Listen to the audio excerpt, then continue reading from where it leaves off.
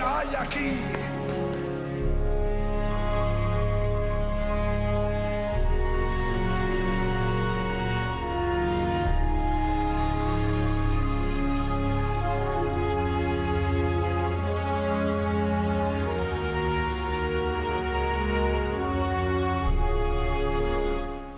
Hola, mi nombre es Alejandro López. Sean todas y todos bienvenidos a Bastante Historia y aquí.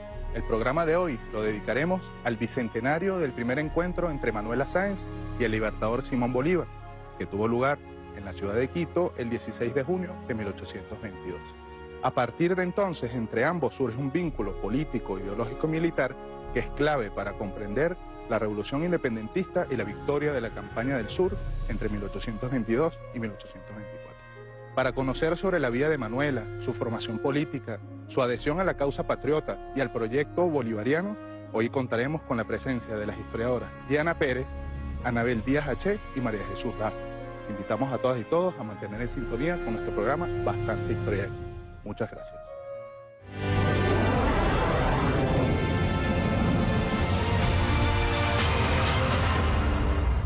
Comenzamos nuestro programa de hoy con nuestra compañera Diana Pérez. Bienvenida, Diana. Gracias. Diana es historiadora, internacionalista, también forma parte del equipo del Instituto de Estudios Hispanoamericanos de la Universidad Central de Venezuela y es investigadora también del Centro de Estudios Simón Bolívar. Diana, el día de hoy estamos abordando un hito de suma importancia, el, encuentro de Manuelita y Simón Bolívar en Quito el 16 de junio de 1822. Eh, ¿Cómo podemos nosotros transmitirles a quienes nos ven y a quienes nos escuchan de dónde viene Manuela, cómo, cómo es su familia, eh, cómo son sus primeros pasos en la política. ¿Qué nos puedes comentar al respecto? Bueno, Manuela es una quiteña. Eh, al igual que Bolívar, viene de una familia de la criolla, vamos a decir, de la élite. Ella es una hija natural.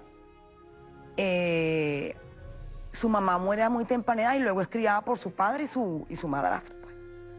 Así que, pero desde pequeña edad ya fue una mujer muy, vamos a decir, muy extrovertida. Estudió, bueno, tuvo una educación como las de las mujeres de la época. ¿Cómo era ese tipo de educación? Bueno, una educación religiosa, de enseñar nada más a las mujeres a bordar, aprender idiomas porque era la mujer desde la élite, francés, eh, una, más que todo para ser una ama de casa, pues, como lo que tendríamos hoy en día conocimiento. Pero ella desde muy jovencita fue bastante rebelde. Ah, tengo una compañera historiadora que dice que hasta fue una subversiva para su época, no solamente del orden colonial, sino también de, la, de su propia vida.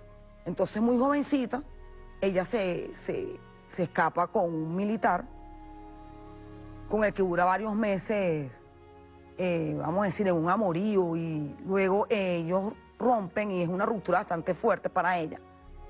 Y es cuando su padre busca casarla con el- el- un hombre bastante gris, un británico, que es John Thorpe, que es su esposo.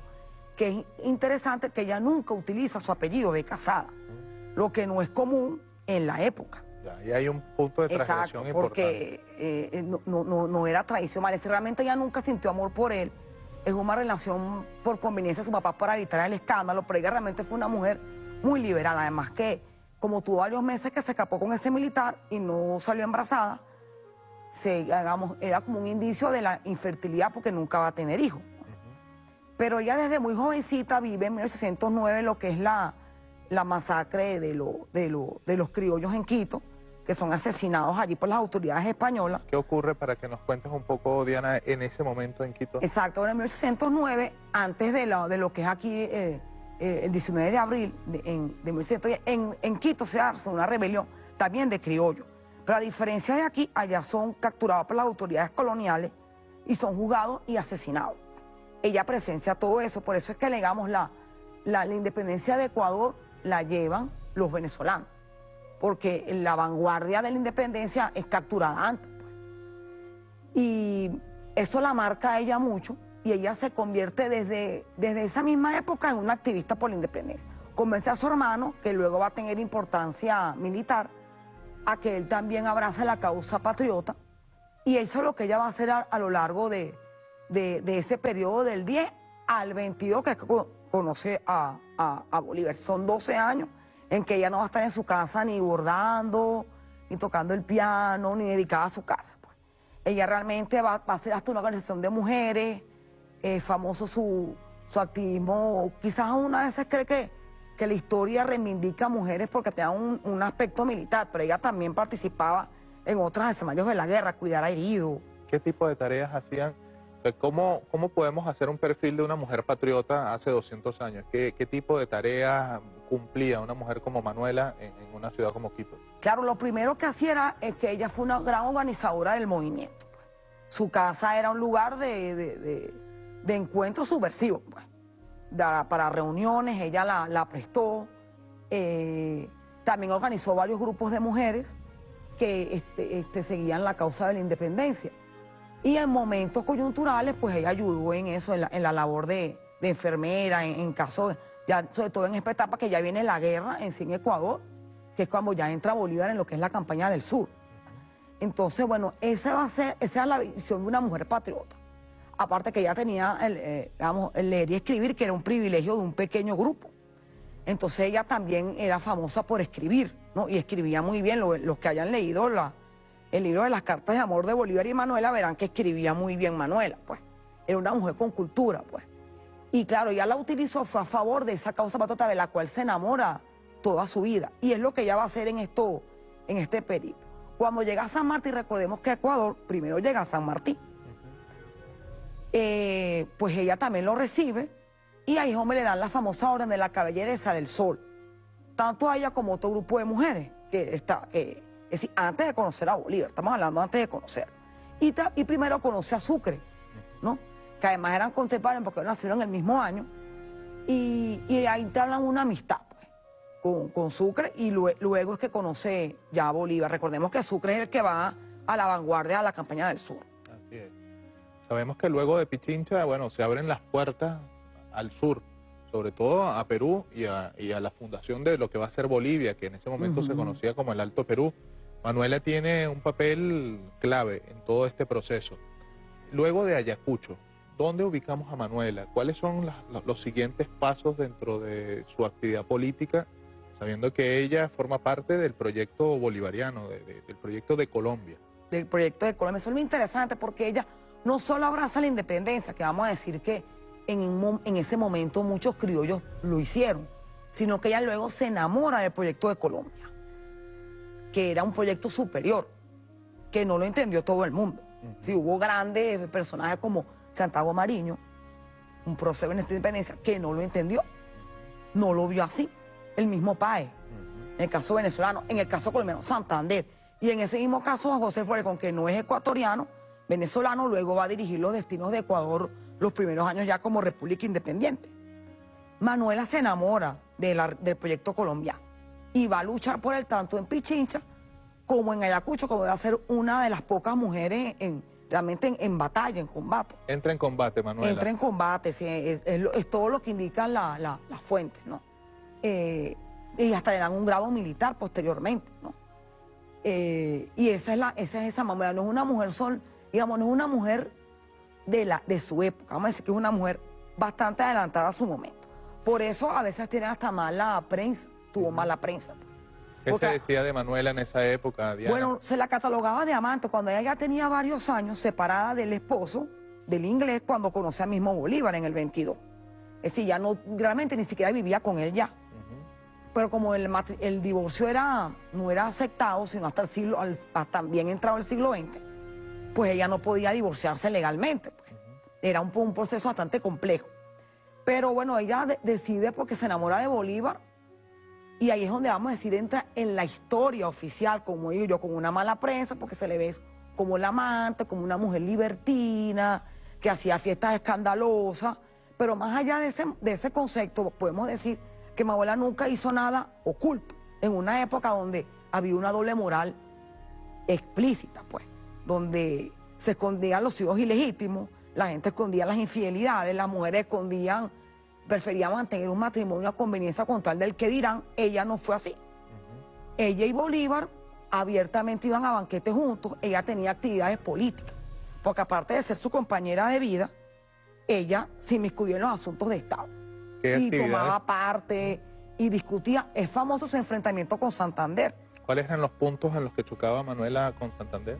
Santander siempre vio, a Santander lo que al final iba a ser un traidor al proyecto este, colombiano. eh, y sabía que él estaba conspirando en contra de Bolívar, lo que era obvio, todo el mundo lo sabía, pues. Y ella siempre lo enfrentó tanto en lo personal como en la calle, pues. Famoso era la, las pintas que hizo por Bogotá en un momento en contra de Santander, en un, en un famoso banquete que entró, este, hizo un alboroto, pero era para llamar la atención porque ella sabía lo que Santander estaba haciendo. Hay un episodio de nuestra historia, mm, bueno, donde Manuela tiene un protagonismo a partir de ese episodio, que es el atentado que, que, se organiza en contra del Libertador en 1828, eh, la Libertadora del Libertador. ¿Puedes contarnos un poco acerca de ese episodio y, el papel que jugó Manuela en ese momento? Bueno, Bolívar sufrió atentados a lo largo de su vida, pero eso vamos a decir que fue el más importante porque él era presidente de Colombia y un grupo de, digamos, de, de, vamos a decir, mercenarios de la época entran a, a la residencia oficial a matarlo ella oye todo el alboroto y lo ayuda y lo esconde, pues. Hasta se le enfrenta a los hombres cuando entran a la habitación, dice que él no está, lo empiezan a buscar, hay varios muertos en ese, porque sale la gente a defender al Libertador, pues sus edecanes. Y bueno, ella lo logra esconder y es donde Bolívar dice esa famosa frase, porque realmente si ellos hubieran podido entrar al cuarto, lo matan. Y realmente entraron, lo que pasa es que ella lo había escondido y se hizo y no, y no dijo dónde estaba, que ya, ya lo había ayudado a, salir de la habitación.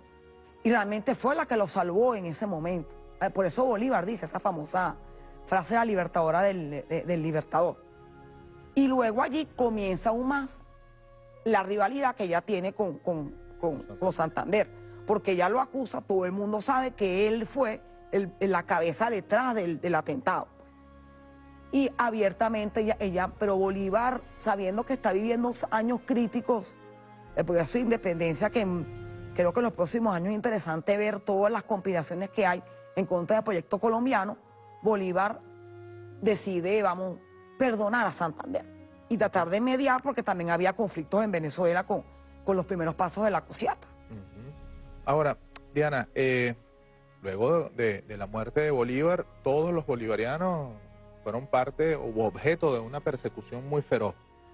Eh, ¿qué, podemos, qué puntos resaltantes nos puedes traer a colación sobre la vida de Manuela en esos años posteriores? ¿A qué se dedicó ella? Eh, ¿cómo, ¿Cómo fue tratada después de, la muerte de Bolívar? Bueno, allí entramos a lo que es el menosprecio en la historia oficial de Manuela. Manuela sufre lo que sufrieron todos los leales a Bolívar, el menosprecio de todos los que traicionaron el, ideal bolivariano. Eh, de la unidad colombiana, no vamos a decir, digamos, bolivariano, porque es el ideal de la unidad colombiana, que, lo representaba Bolívar, que se representa el asesinato de Sucre en el año 30. Y Manuela es exiliada, pues le hacen la vida imposible, no, le permiten entrar a Colombia. Santander le prohíbe la entrada a Colombia. A Ecuador, que es su país natal, tampoco la dejan entrar. Entonces ella se, se va a un pequeño pueblo peruano, Pasto, y allí se radica junto con sus fieles sirvientas, eh, este, sirvienta, y allí se queda hasta su muerte, pues. Sí, pero hay que decir algo interesante de ella. Nunca negó su pasado de a favor de la independencia. Nunca pidió perdón, nunca le pidió, vamos a decir, una carta pidiéndole ayuda a nadie. Ella aceptó su destino, pues que fue el destino, a decir, de los derrotados en ese momento, aunque no en la historia. Hoy en día sabemos que eso no es un proyecto eh, que, era realmente el proyecto bandera de la independencia que hemos ido reivindicando a lo largo de estos 200 años. Entonces Manuela vivió esos últimos años allí en, ese pequeño pueblo y es famoso que tuvo contactos con Simón Rodríguez, que también andaba en, estaba en ese pueblo. Incluso Garibaldi la fue a visitar también. Exacto, varios personajes pasaron por allí, sí que no era una mujer, es decir, siguió teniendo una resonancia, ayudaba a, la gente del pueblo a leer y a escribir, a traducir al inglés, que era idioma que ella manejaba. Eh, eh, es famoso que su esposo muere en esos años y ella no acepta la herencia. Ella niega y dice que ella no, porque ella ya no tenía nada con él. Ella hace años terminó con él y no. Él también trató de buscarla, ya no quiso mientras él estaba en vida. Es decir, ella decidió no tener más nada con él y prefirió vivir en la pobreza, estar con un hombre al que no amara, o buscar dinero, o renunciar a sus ideales, pues. Yo creo que ese es su gran, su gran aporte. Y tuvo mucho contacto con la comunidad de esa región que la quería mucho, pues. Este, tristemente muere de difteria y como era una enfermedad contagiosa, aún no. la gente este, quemaron allí su casa donde habían documentos y, y varias cartas que se perdieron en la historia, porque estaban en su posesión. Pero Manuela eh, tuvo responsabilidades administrativas también en un momento ¿no? de, de la causa. Ahora, Diana, para finalizar, ¿qué, ¿qué, qué, reflexión quisieras compartir sobre todo de la significación actual de la figura de Manuela en un momento donde la mujer cobra cada día más espacios en la política y en la vida de Venezuela, hablando nosotros concretamente en nuestro país? Bueno, yo creo que un debate muy actual es que es el papel de las mujeres, de, la, de las primeras damas, o las primeras combatientes, como le decimos aquí, como le llama el presidente Maduro. Y Manuela 200 años atrás creo que avanzó en algo que ninguna mujer esposa de ningún presidente ha alcanzado. Ella tuvo un activismo y tanta participación política este, para su época y hasta para la actual que uno se impresiona, pues, porque no eran esas típicas primeras damas que uno ve que lo que hacen es ir a eventos, en la parte social, que siempre se ha visto a, la, a la, esposa del político como eso, la encargada de la parte social, de cuidar a los viejitos, a los niños, esa parte, ¿no? Ella no ella no solamente estuvo en, la guerra, este, abiertamente se le enfrentó a Santander, tuvo una vinculación política, fue realmente un personaje político. Lo que pasa es que era mujer y en esa época las mujeres pues no, no accedían a altos cargos públicos. Eh, así que fue una mujer, como yo digo, subversiva y adelantada para su tiempo. Eso yo creo que es el gran legado de ella, de ver como una mujer en un contexto adverso tuvo toda una vida que no era lo común para la época y ella siempre se mantuvo fiel a todos sus ideales. Y creo que ese es el gran, yo creo que es lo que debemos recordar a Manuela. Esa visión de la, de la lealtad, no solamente un hombre a un amor, no, sino la lealtad a un proyecto político que fue el proyecto colombiano. Diana, muchísimas gracias eh, con tu intervención. Finalizamos esta sección de Bastante Historia aquí. Invitamos a todas y todos los usuarios venezolanos de televisión que continúen en sintonía de nuestro programa. Muchas gracias. Bastante historia hay aquí.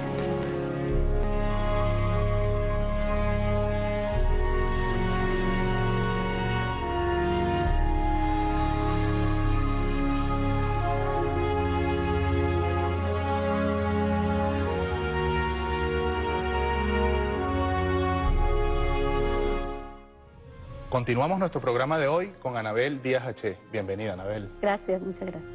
Anabel es investigadora, docente universitaria, también conduce y produce el programa Latinoamérica, la hora de los pueblos, por el dial 106.9 y es articulista del semanario Ciudad Caracas. Anabel, el día de hoy hemos estado conversando sobre el bicentenario del encuentro de Manuelita Sáenz y eh, el libertador Simón Bolívar. Em, cuando ellos se encuentran ya ha pasado casi un mes de la victoria patriota en la batalla de Pichincha. Em, se ha pasado también, eh, digamos, historiográficamente, se ha destacado este encuentro, pero también eh, se ha hecho mucho énfasis en cuanto a la relación amorosa que sostienen Bolívar y Manuela luego de, su, primera, de su primera vez de conocerse. Ahora, eh, quisiéramos hacer un énfasis en este programa sobre la figura de Manuela como revolucionaria y patriota, mucho antes de conocer al Libertador. ¿Dónde pudiéramos nosotros encontrar esta información, Anabel? ¿Qué nos puedes decir al respecto?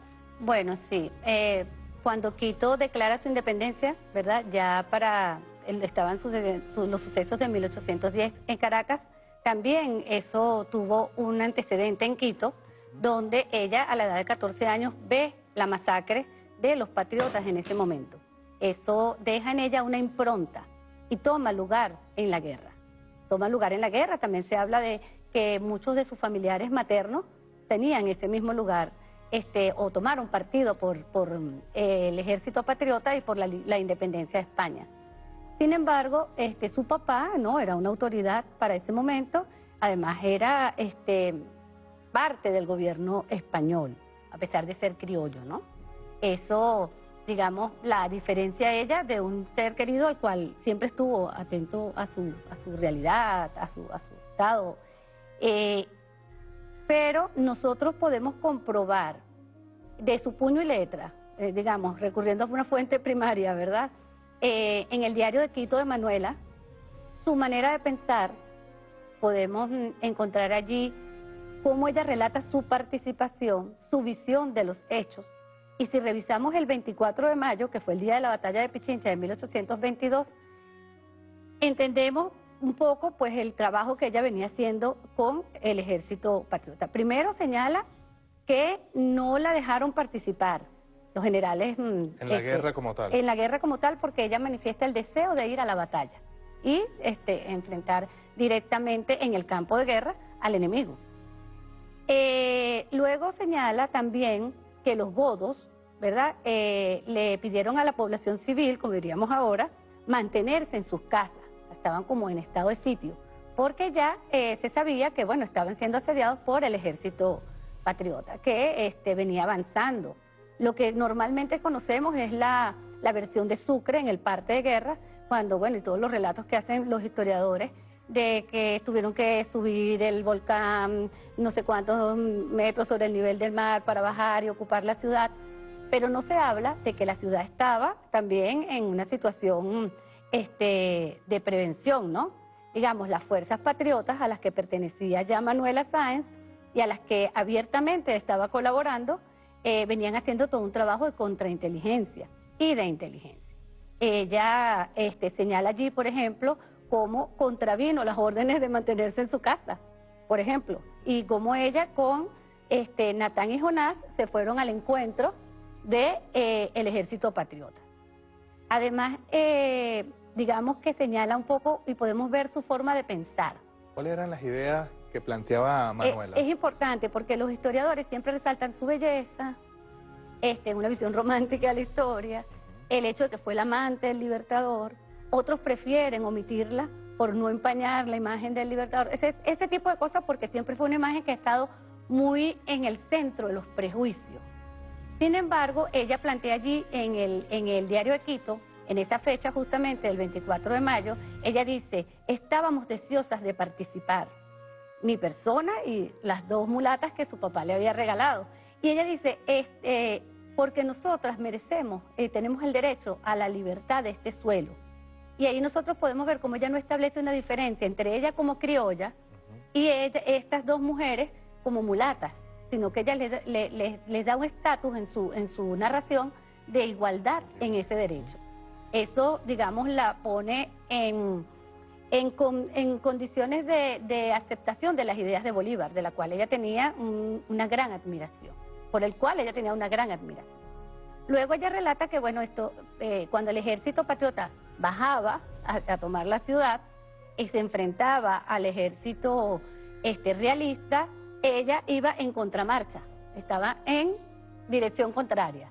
Y ella salió de Quito a recibir a, los patriotas y bueno, como no le permitieron participar directamente en la batalla como era su deseo, este, sirvió eh, atendiendo a, a los enfermos, a los heridos, una gran cantidad de heridos de bando y bando. En el caso de los patriotas fueron más de 100 heridos a los cuales ella tuvo que prestarle asistencia conjuntamente con otras personas. Esto entonces nos coloca en dos cosas. Uno, ya las ideas libertarias expresadas por su propio puño y letra. Luego, este, la visión de igualdad, eh, el colaborar, el estar presta, el estar al servicio de la causa, en, cuerpo y alma, eh, el haber colaborado de manera este, en la conspiración para que el ejército pudiera llegar allí. Ninguna zona urbana, ninguna ciudad es tomada si no tienen personas que puedan infiltrar la información. a apoyo político en la población. Claro, apoyo político de la población, el cual ella se encargaba, por un lado, por condición de criolla este, y de mantuana, ¿verdad?, de poder tener información de primera mano del ejército español. Y segundo, eh, se encargaba de difundir las ideas de aceptación y provocar que la gente se sumara a la causa. Eh, luego, ella también relata ese mismo día, 24 de mayo, ella relata cómo, este, bueno, ya para las cinco y media de la tarde estaban exhaustas, ella y las dos mulatas, pero además ella resalta cómo en el camino hacia, el, hacia el encuentro con las fuerzas patriotas, ella sirvió de, posta, ¿no? Ella iba de posta en posta buscando comunicaciones, recibiendo comunicaciones que decía eran muy, eran muy alarmantes por la situación en la que se encontraba. Además, estábamos rodeados porque habían realistas por todas partes.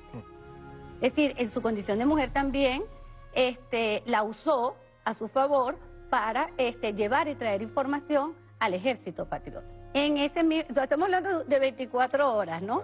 Todo lo que ella hizo. Antes de esas 24 horas, toda la información que pudo haber conseguido y haber pasado. Porque ella fue muy reconocida por San Martín, José de San Martín, y Exacto. también por Sucre. Ya, ya la tenían, digamos, eh, eh, considerada como un, un miembro de las fuerzas patriotas. En muy alta estima, dice Sucre. No, pero ella ahí incluso habla de Sucre y dice al cual eh, eh, tiene, tiene- es un trato muy, es una persona muy agradable con un trato muy fino, dice ella de Sucre en, el- en, el- en su diario.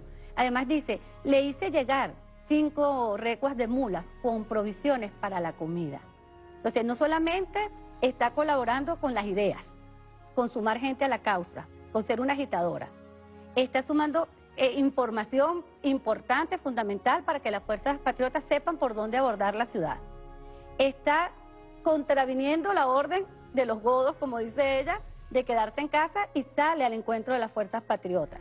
En el camino sirve de comunicadora, con las postas que llevaba y traía, pero además entonces provee de recursos para la logística del, ejército, ¿no? Este, con mulas y con alimentos. Además de eso, este, también cuenta pues ella que eh, su padre y su esposo le recriminaban el hecho de ella eh, rodearse y codearse con los generales patriotas. Y al final del día 24 ella dice, y estamos muy ansiosos por la llegada de- del libertador, al cual ella, este, bueno, admiraba y dice, dice allí que admiraba por su valentía, por sus ideas, este, y no lo conocía personalmente. Todo esto lo está ella cuando la gente dice, bueno, eso fue un amor a primera vista. No, es una admiración previa al hombre, pero no al hombre, a las ideas que ese A hombre causa. acompañaba, a la causa que ese hombre acompañaba. Además, este, la participación de ella, que luego fue directa en el campo de batalla para Ayacucho, porque, bueno, pujó, ¿verdad?, hasta, hasta lograrlo, este, no tiene nada que ver con su relación con Bolívar, porque este se había puesto a que eso sucediera. La participación de todo lo que te estoy narrando, para que pudiera lograrse el triunfo de Pichincha, no conocía personalmente a Bolívar porque ella conoce a Bolívar el 16 de junio de 1822, cuando él entra a Quito. Ya Sucre estaba instalado en Quito, ya se había sucedido la, la batalla. Entonces, creo que en honor a, a la historia, en honor a un personaje que ha estado siempre en el centro de los prejuicios, en un homenaje, quizás hasta un desagravio a la persona de, de- de Manuela, este, Bolívar y, y Manuela fueron muy asediados por los prejuicios, pero era, no era porque estuvieran cometiendo o llevando en sí un acto este, contrario al sagrado matrimonio para la época, sino este, porque sus enemigos políticos se aprovechaban de esa condición, de esa situación, este, para agredirlos, para atacarlos, ¿no? Eso es, importante decirlo. Entonces Manuela fue, por algunos historiadores, invisibilizada, porque creían que si la visibilizaban iban a empañar la figura de Bolívar, y por otros, este, bueno, blanco de muchísimos mm, prejuicios. De hecho, mm, muy pocas personas no se conocen la historia, todo el, el- el servicio que le prestó a la patria. Y no a la patria pequeña, no a Quito, al que ella pertenecía, donde ella nació.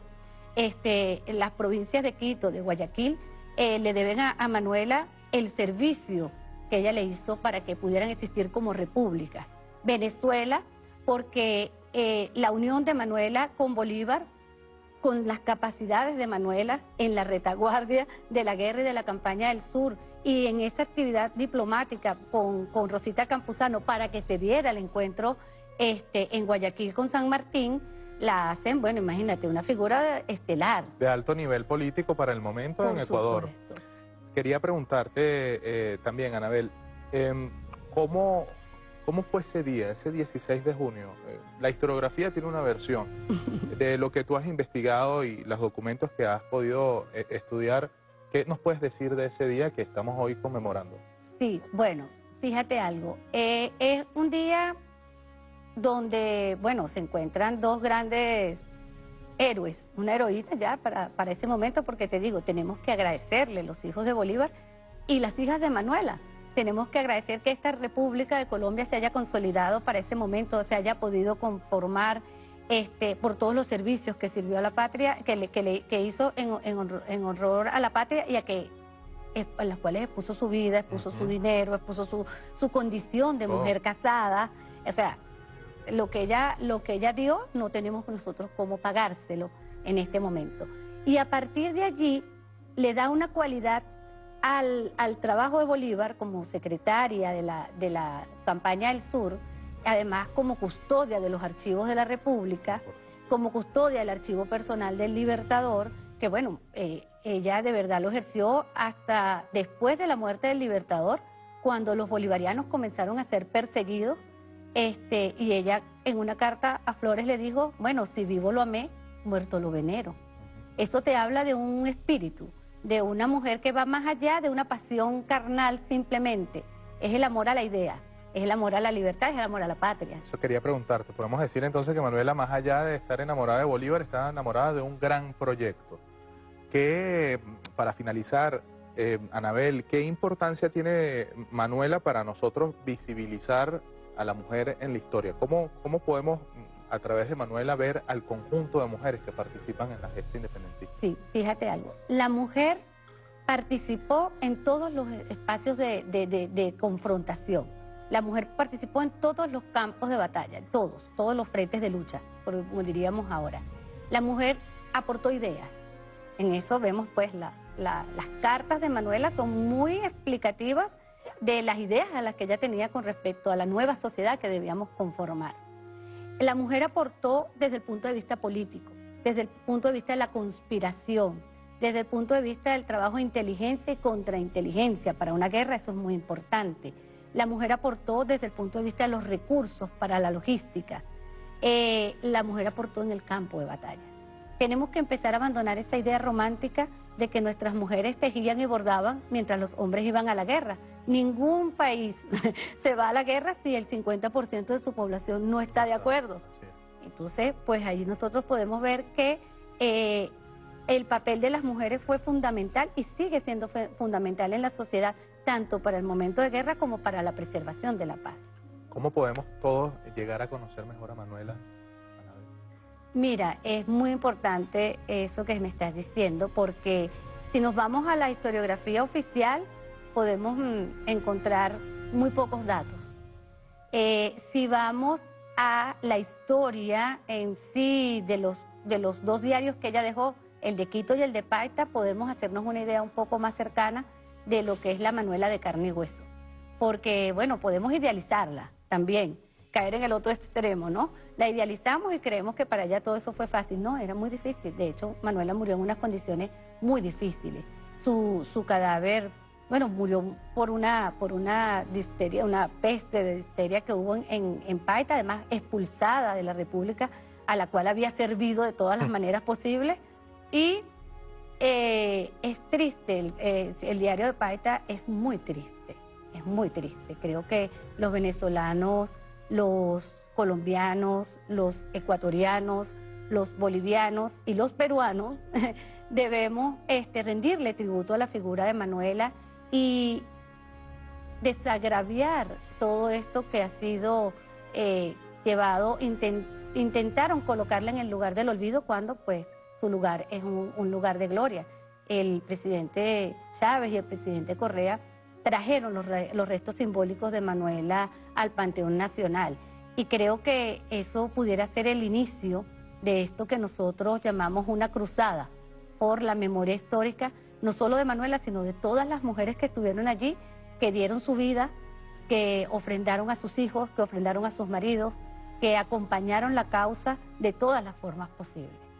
Anabel, muchísimas gracias por tus palabras. Con esta intervención de Anabel finalizamos esta sección de Bastante Historia de Yaquí. Invitamos a todas y todos los usuarios de Venezolana de Televisión a continuar eh, la sintonía con nuestro programa. Muchas gracias. Bastante historia hay aquí.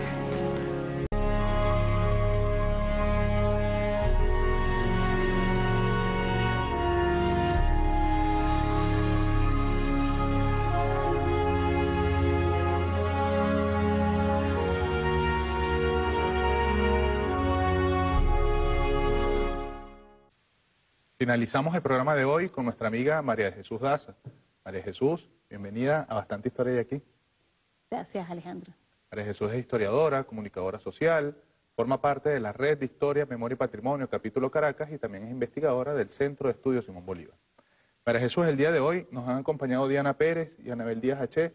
Eh, y hemos tenido una gran oportunidad para conocer a Manuela en distintos ámbitos de su vida, eh, digamos, su, su trasfondo familiar, sus primeras experiencias, pero también su participación política. Tú has adelantado una investigación que se ha enfocado en, en el aspecto militar de su vida. ¿Cómo podemos nosotros eh, definir a Manuela en su carrera militar eh, y sobre todo si la comparamos con el libertador Simón Bolívar? ¿Qué nos puedes decir al respecto? Cuando se inician los movimientos independentistas en América, ah, entre 18- 1808 y 1810, y el 9 específicamente en Quito, Manuela es una adolescente, es casi una niña. Sin embargo, por eh, la posición eh, de su familia, que era una familia de, una, de un estrato social bastante acomodado, o sea, ella vive en el centro de Quito y allí logra visualizar todos los acontecimientos que ocurren eh, con los patriotas eh, que son asesinados en los enfrentamientos con los, con los mm, militares de la, de la corona. ¿Qué sucede en la vida de Manuela en 1821? Eh, ella llega, eh, está en Lima, está en Lima, casada con, con el doctor Torne, y en su casa se realizan mm, múltiples visitas de personas que tienen que ver con toda la vida social de, de la ciudad. Su hermano José María es militar. Eh, su- eso le hace que ella tenga una relación con el mundo militar. De acceso a información que otras personas no tendrían. Exactamente, exactamente. Eh, todo esto la lleva a ella a, a trabajar también con un grupo de mujeres, un grupo de mujeres quiteñas que estaban, eh, que eran revolucionarias. Había un, un movimiento revolucionario bien importante en, en Lima, Rosa Campuzano, que era una de las líderes que estaban trabajando con San Martín. Eh, esta- este, este grupo de mujeres eran aproximadamente, aproximadamente 20 mujeres que llevaban una vida política bastante intensa. Eh, la familia de, de Manuela era una familia liberal, bastante eh, avanzada en cuanto a todo lo que eran los procesos históricos. Manuela fue una, una chica muy bien, una, una joven, pues, muy bien, muy bien educada. Este, y prontamente se, eh, se, eh, se inició en todo lo que era la vida política. Y cuando digo prontamente es porque si volvemos a ver el ciclo histórico, Manuela en 1821 sigue siendo una joven, una muchacha de 25, 26 años. Es bastante joven y sin embargo ya está muy inmersa en todo lo que es la vida política y está muy bien relacionada con el mundo militar. Eh, todas estas acciones que ella lleva a cabo este, la llevan a, a la ayuda de, eh, de todo este movimiento en el cual el batallón, eh, que- en el cual estaba su hermano José María, que era uno de los batallones del rey, el batallón Numancia, pasa eh, a apoyar a José de San Martín. ¿Qué sucede? Que este, esta, esta fuerza militar es una de las fuerzas que más apoya a José de San Martín. Es allí donde se consolida la independencia primaria de Perú. Eh, es en este momento cuando ella es condecorada como Caballeresa del Sol. Este, esta orden de Caballeresa del Sol es una orden militar. Entonces podemos decir que este es uno de los primeros mm, eh, logros militares. Lo podemos ver como el primer logro militar en cuanto a grado de Manuela. ¿Qué le valió este gran reconocimiento, Manuela, María Jesús? ¿Qué había hecho ella para tener este, esta distinción? Bueno, Manuela, Manuela hace un trabajo que, se, que hacían mucho las mujeres de la época, que es el trabajo de, de inteligencia y contrainteligencia. El trabajo, este trabajo social de ir este, uniendo por medio de, este, del conocimiento, de la formación, ir ah, captando, captando este, militares, captando pueblo, captando amigos, este, muy estratégicos hacia la causa revolucionaria. Con esa distinción, Manuela entonces entra ya en una carrera militar, pudiéramos decirlo. Sí, sí, es, es un reconocimiento que se le dio a las mujeres. Sin embargo, este, es un reconocimiento, ya es un, un primer reconocimiento militar y lo importante es que no está ligado con la vida de Bolívar, sino con su vida política, con su vida, este, todo lo que es su compromiso social, su compromiso político, que tiene más que ver con lo que es su ciudad, con el amor eh, a la independencia, con el amor a, todo lo que tiene que ver con la revolución. Manuel era una revolucionaria, desde mucho antes de conocer a Bolívar. ¿Cómo, cómo, cómo, cómo su trayecto después de Pichincha? ¿Qué, ¿Cuáles son tiene ella, alcanza grados militares, ¿cómo, cómo se incorpora a, las fuerzas de combate del momento? Bueno, como decíamos anteriormente, yo, yo se los voy a hacer ver así como una línea de tiempo. Este, nace en Quito, este segundo momento, en 1821, es en Lima. Y en Lima, donde conoce a San Martín y a todo el entorno de San Martín, y bueno, sus amigas, especialmente Rosa Campuzano, era de las de las personas más íntimas del grupo de, San Martín. Eh, por, una circunstancia familiar, ella en 1822 se va a Quito, sale de Lima y se va a Quito, porque tenía, que, tenía un, litigio, litigio familiar, llega a Quito en mayo de 1822 y logra ser una protagonista, o sea, logra ver todo lo que es eh, los, últimos, los, los, últimos días después de la, de la guerra, los, o mejor dicho, los primeros días después de la guerra, logra ver todos los acontecimientos. Ella iba llegando a Quito cuando estaba en pleno apogeo todo lo que era la batalla de, Pichincha. Desde el sitio donde ella entra, a, su, a, su, Quito natal. En sus cartas ella dice que era un día soleado, bellísimo, era un día digno para una victoria, dice ella en sus cartas. Este, ella logra ver este, los ejércitos del rey en la parte baja y los ejércitos, el ejército de Sucre en la parte alta. El que estuviese en la parte más alta era el que tenía eh, mayor ventaja y Sucre tenía la ventaja. Ella logra ver toda la batalla desde desde el campo donde estaba. Ella llega a Quito junto con el, ejército de su hermano. Desde conocer a Bolívar, Manuela conoce a Sucre.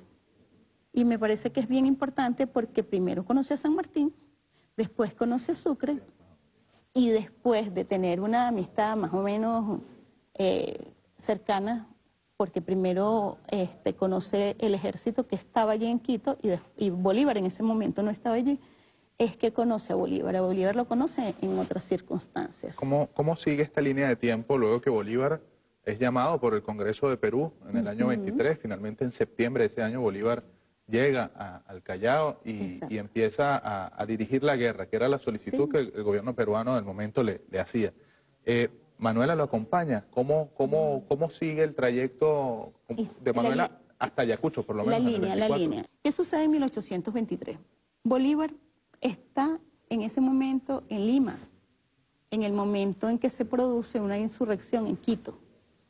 Se produce una insurrección en Quito y Manuela logra tener información por medio de sus criadas y de todo su equipo de, amigos, allegados, cercanos, porque Manuela llevaba una vida social este, bastante extensa, de lo que está sucediendo en diversos estratos de, de Quito para una sublevación este, interna de los, de los realistas, eh, de las personas que estaban en contra de la liberación de, lo que era en ese momento este, la presidencia de Quito.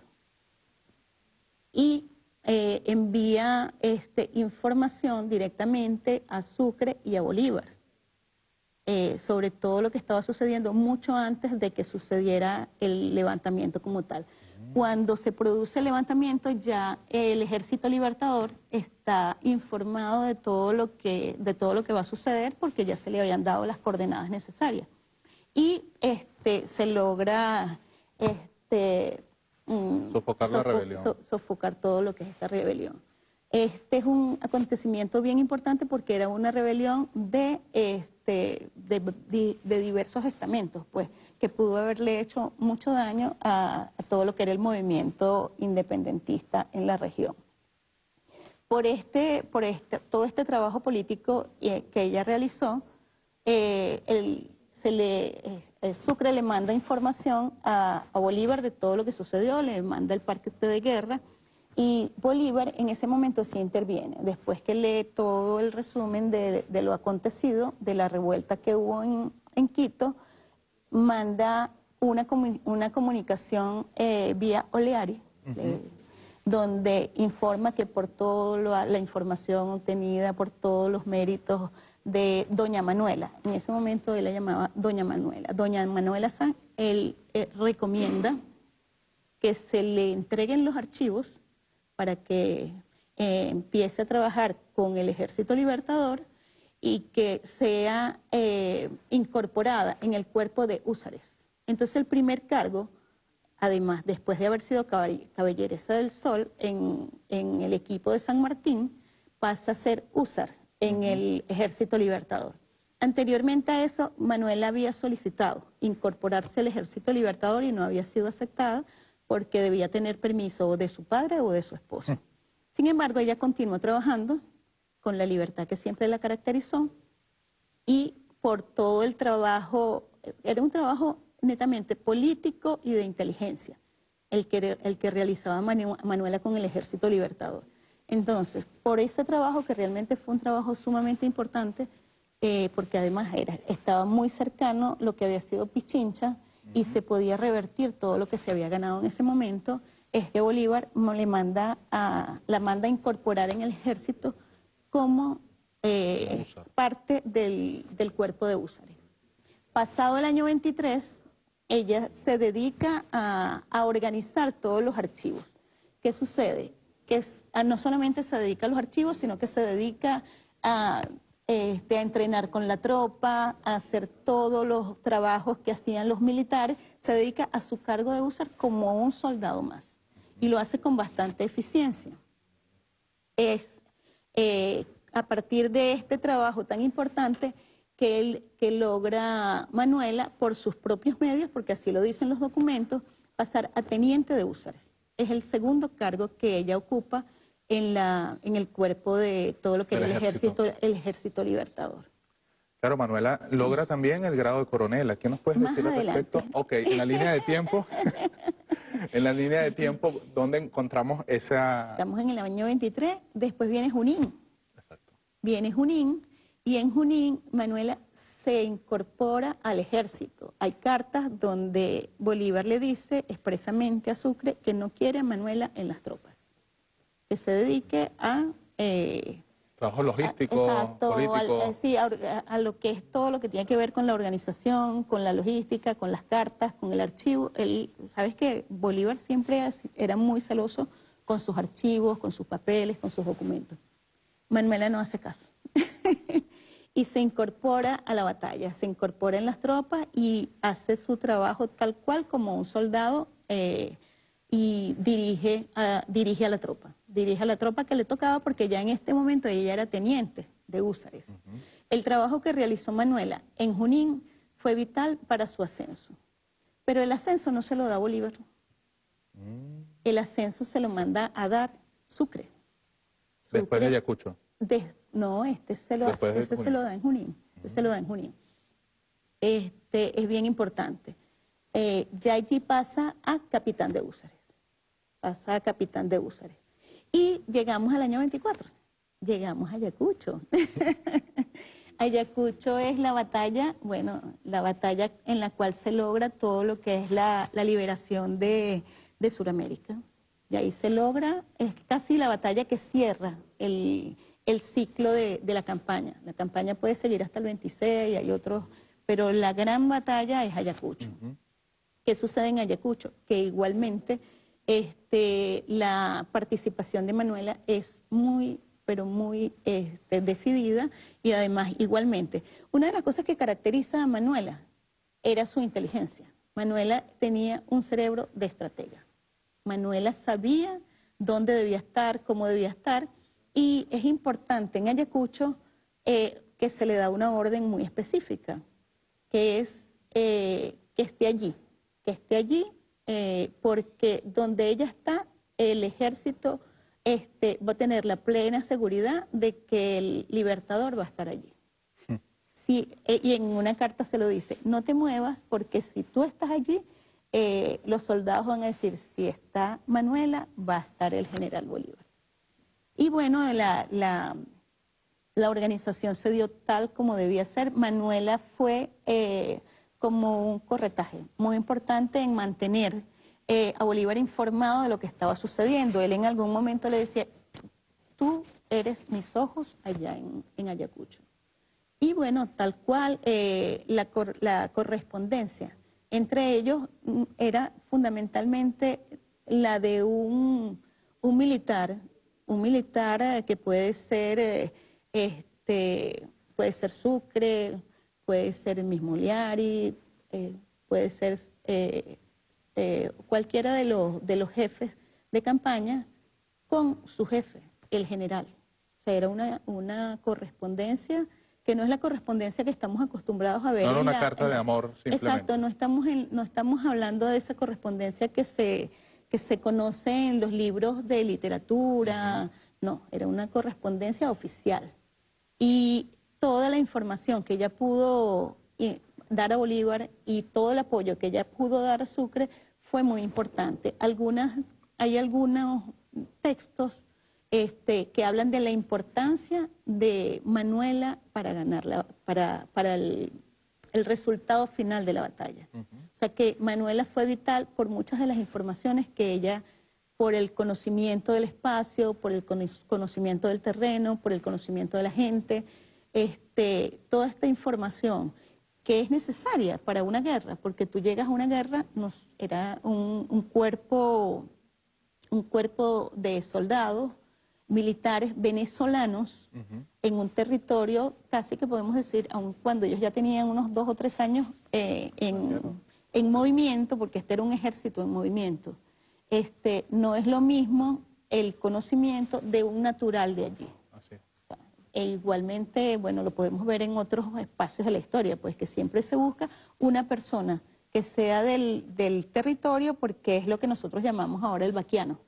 Entonces era eh, la, la información de ella era vital por el conocimiento de todo lo que era el entorno. Eh, podríamos decir que a Manuela le tocó estar en el lugar y en el sitio donde debía estar para poder desarrollar una carrera militar que fue bastante fugaz en, en cuanto a la velocidad.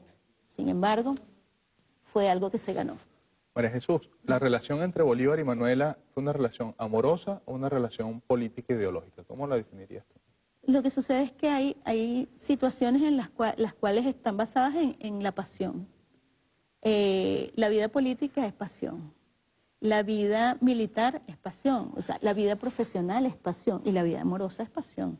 Y yo creo que se conjugaron dos seres apasionados. Él apasionado por la libertad, ella apasionada por la libertad.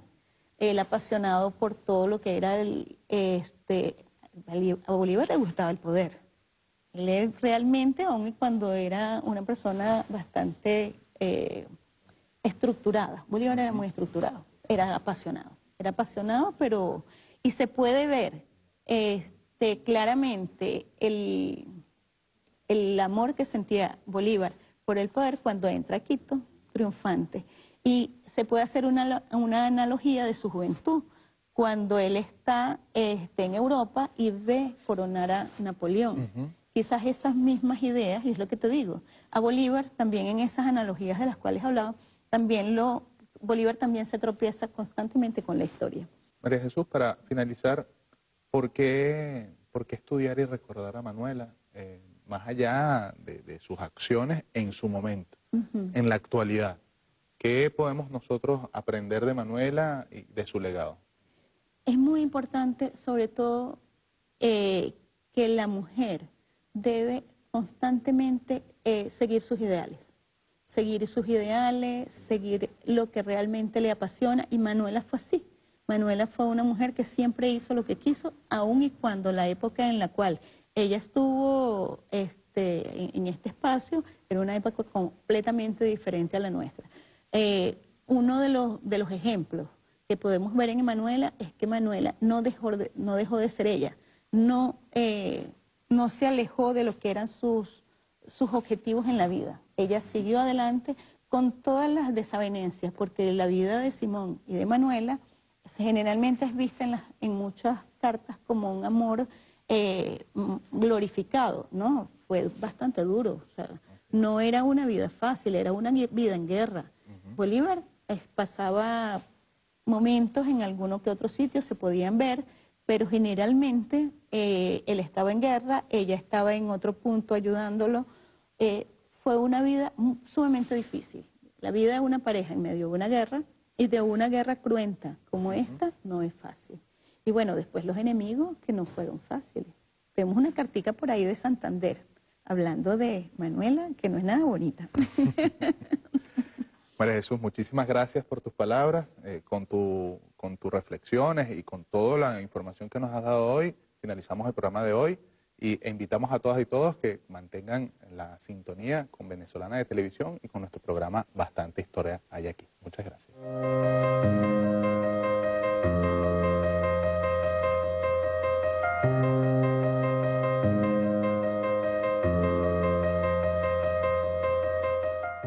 Día de hoy hemos conversado sobre la vida y obra de Manuela Sáenz en el marco de su primer encuentro con el libertador Simón Bolívar, aquel 16 de junio de 1822 en la ciudad de Quito. Nuestras invitadas de hoy han coincidido que Manuela, más allá de su relación amorosa con Bolívar, destacó por ser una insigne estratega, una fiel patriota y una gran combatiente. Sin duda alguna, en la actualidad, Manuela Sáenz es un referente de la lucha de la mujer en Venezuela y en toda nuestra América.